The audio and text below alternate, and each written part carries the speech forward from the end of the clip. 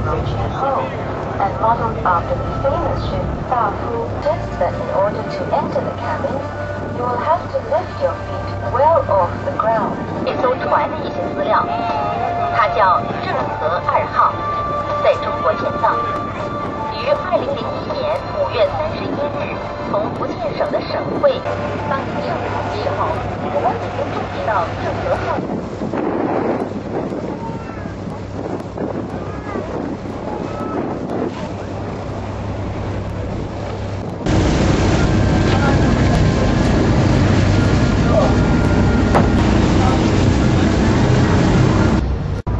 Ra Lake. We hope you all enjoyed your cruise of Ra Lake.